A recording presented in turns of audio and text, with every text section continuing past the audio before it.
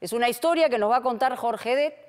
Es un empresario de Lima Norte, un empresario hotelero, que fue extorsionado, amenazado de muerte. Él y su familia llegaban balas en sobre con el nombre y la fotografía de su hijo. Se llenó de coraje, fue a denunciarlo a la policía.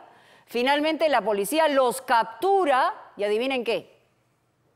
La fiscal los deja libre, una fiscal del Callao. Bueno, esta es la historia que le vamos a contar en punto final. Ah, ¿Tu nombre completo? Habla. ¡Habla más fuerte! Carlos Pizarro Barraza. Diana Carolina Champiar. ¿Cuántos años? Yo tengo 29 años. ¿Dónde vive? En San Martín de Porres. Carlos Pizarro Muga, ¿A cuántos años? 41 años. Lo noto muy tenso, muy angustiado, muy nervioso. ¿Cómo quieres que esté, mi estimado amigo? Si, si, si saliendo de acá, de estas cuatro paredes, puedo terminar muerto por la decisión de una fiscal. ¿Cómo quieres que me sienta?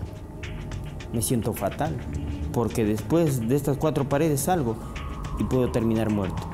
Vive una verdadera pesadilla, está aterrado, lleno de miedo, con una terrible sensación de peligro y no es para menos. Los delincuentes que vimos hace instantes se la tienen jurada. No exagera cuando dice que él y su familia pueden morir en cualquier momento. Tal es su desesperación que en este instante, mientras usted mira este reportaje, el hombre ya debe de estar fuera del país, en algún lugar en donde los sicarios que lo amenazaron no puedan ubicarlo. A raíz eh, de estos hechos delincuenciales, de extorsión, yo he tenido que hacer cambios brutales, brutales en mi familia y en mi vida personal. Mi hijo retirar del colegio, mi esposa eh, cambiar de casa eh, juntos conmigo. En este momento mi esposa no está acá en Lima, mi hijo no está, están de viaje. Usted me comenta que luego de esta entrevista usted se va del país. Efectivamente, y yo después de, de esta entrevista y toda vez que no encuentro seguridad jurídica por esta fiscal que hoy en día ha dejado libre, después de la entrevista yo me voy de viaje. Pero bien, ¿por qué este empresario de 42 años asegura que la responsable del infierno en el que ahora vive es una fiscal?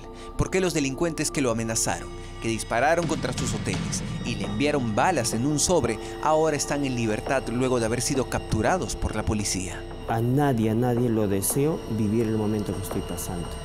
Es algo cruel, es algo muy, muy, muy difícil y lo peor que te indigna es que, es que la, la policía ha hecho un gran trabajo, llega a la fiscalía y en la fiscalía lo libera esta señora fiscal.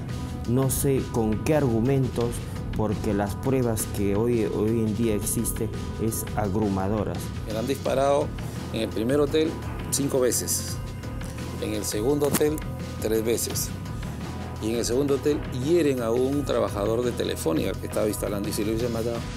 Ah, ¿Tu nombre completo? Habla. ¡Habla más fuerte! Carlos Pizarro Barraza. ¡Oh, habla más fuerte! Giancarlo Pizarro Barraza. ¿Cuántos años? 19. ¿Ah? 19. ¿Dónde vives?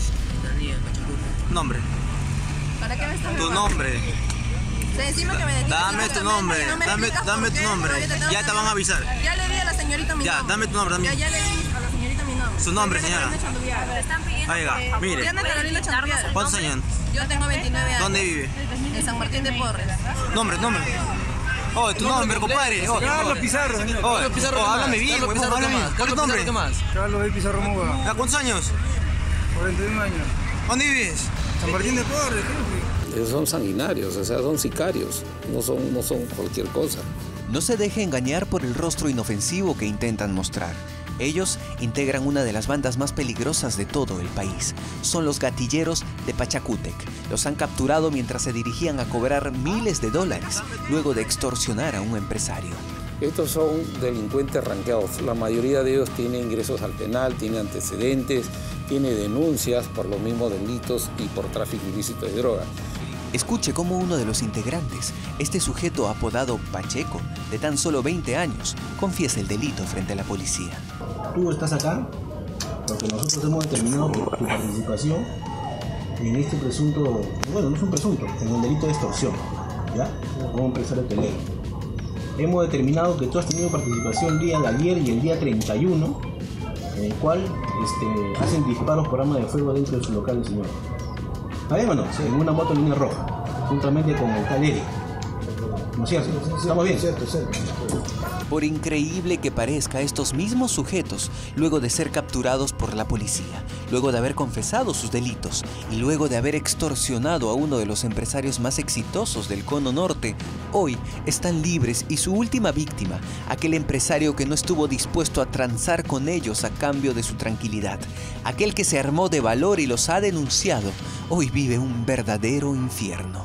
Yo dentro de mi, de mi vida rutinaria, de mi trabajo que me dedico, de un día a otro llega este cambio sin tener la menor idea de dónde, de dónde pudo salir información o quién estuvo detrás mío. Desconozco absolutamente. Créeme que, que lo que estoy viendo es algo muy terrible, muy terrible, que estoy sacando fuerzas de donde no las tengo para enfrentar esta situación que estoy viviendo yo y mi familia.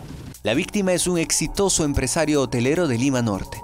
Tras muchos años de esfuerzo y sacrificio, recién empezó a disfrutar los frutos de su trabajo. Pero lamentablemente en el Perú ser exitoso también es convertirse en blanco de los delincuentes. Así estamos. Para ser empresa en este país hay que pagar un cupo. Y eso fue lo que le pasó. Su tormento inicia el viernes 31 de mayo. Un mensaje escrito con papel periódico y una bala eran solo el inicio. Preste mucha atención a los detalles de este video. Un sujeto que viste short y usa gorra negra ingresa a la recepción de uno de los hoteles. Lanza el paquete sobre el mostrador indicando que es para el empresario y se va con mucha prisa. Incluso acá lo vemos corriendo antes de que alguien abra el sobre y salga tras él, pues dentro estaba una nota que exigía 10 mil dólares si es que no quería ver muertos a su esposa e hijo. Primero seleccionan a su víctima, a víctima ven este, el movimiento, qué negocios tiene, atemorizan a su familia, a sus hijos y le dicen, ¿sabes qué? Conocemos todo tu movimiento y necesitamos que nos deposites 10 mil dólares. Si quieres estar tranquilo. Si es que realmente quiere su tranquilidad. Pero este empresario lo felicito porque ha tenido la valentía en denunciar. Te amedrentan, te tiran, me han tirado balas en los locales, a uno de mis trabajadores lo han herido, lo han herido de bala, ¿no? Es algo muy, muy terrible. ¿Lo llamaban por teléfono también? Por teléfono me han llamado, me han insultado. Me insultaban, me insultaban diciéndome no, que no me interesa mi familia, que el dinero, ¿no?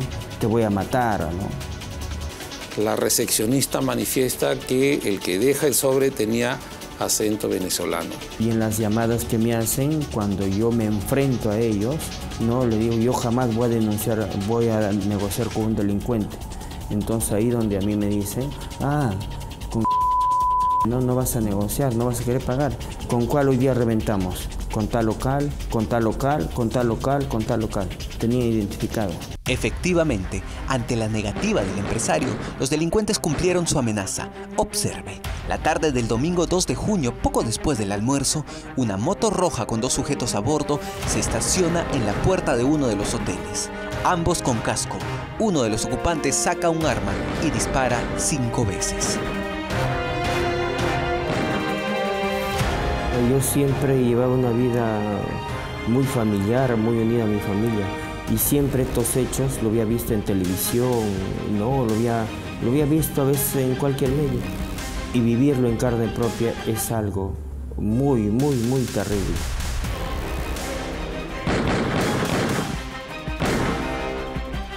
De pronto cambia absolutamente tu vida, vives una forma angustiada, de miedo, desesperado, sin saber qué hacer contigo, con tu familia, ¿no? Porque son momentos muy, muy difíciles, muy angustiosos, eh, fatales.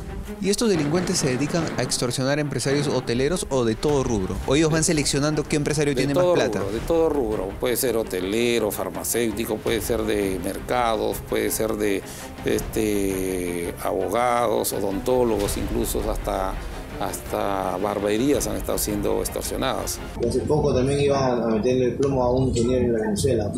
Con ella, como yo trabajo en una empresa, yo no pude contratar a un, a un, a un taxi. A meter, ¿verdad? yo no fui. otro lado? y Se quedó, se quedó en, ¿cómo se llama? Se quedó en una... Ya, ya es, ya es ingeniero que está, ¿extorsionado también o por qué? Sí, también. Y al parecer no, no quería soltar plata porque por él estaban ofreciendo 16 mil. Ya, yo me estaba ofreciendo por 19. O sea, estaban, estaban pidiéndole 16 mil, ¿no? Sí, por, por la cabeza de, ya. Y Tuntún, el que está en el penal, lo contrata a su hermano, para que su hermano haga la chamba. Ya. Su hermano fue con, con un agente, fueron con, alguien, con, con un carro normal. Ya. Y se regresaron porque dice que había mucho policía. No, no, no pasó nada. nada. El testimonio de este delincuente de 20 años es clave. No solo revela de qué manera extorsionaba a sus víctimas, también se pudo corroborar la participación de cada uno de estos delincuentes que luego del trabajo de la policía están plenamente identificados.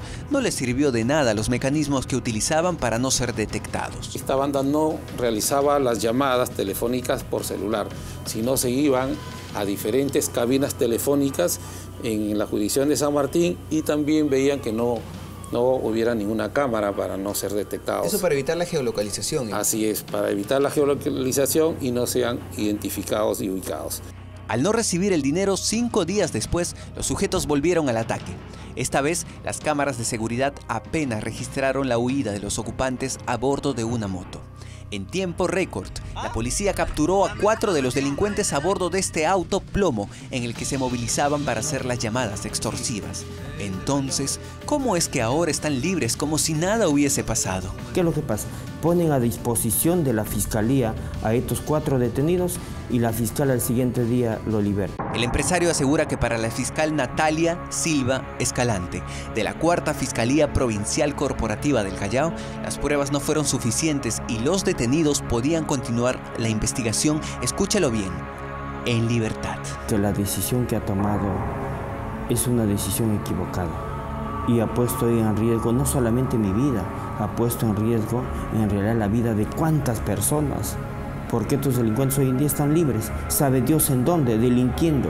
Por esta decisión de esta fiscal, hoy en día cuántas personas sencillas que honradamente trabajan no día a día están siendo afectadas. Nosotros buscamos a la fiscal para conocer los motivos de tan cuestionada decisión, pero luego de varias horas envió decirnos que no nos atenderá, pues su decisión se sustenta en el nuevo Código Penal. Todos han sido identificados ya. Estamos ya este, esperando que la fiscal del Callao tramite el informe ante el juez para que pida la medida limitativa y poderlos ubicar y capturar al resto de la organización criminal Logatir de Pachacute. La policía logró identificar a los 12 integrantes de esta banda, cuyo cabecilla es nada menos que este sujeto, César Eduardo Ríos Zavala, un peligroso delincuente que en el 2016 asesinó a un policía, el mismo que hoy desde el penal de Chimbote dirige las extorsiones a los empresarios de Lima Norte mediante su conviviente, Leslie Gabriela Ramírez Río, ha reorganizado toda esta banda criminal cuando va a visitarlo constantemente al penal, es donde planifican a qué empresario lo van a extorsionar. Estoy terriblemente afectado, afectado totalmente. Siento que en mi país no hay seguridad y no hay seguridad porque gracias a las autoridades hoy en día estos delincuentes están libres.